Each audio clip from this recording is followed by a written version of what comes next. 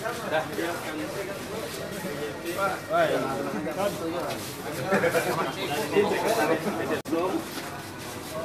official makin kerepotan kalau mendampingi tim 3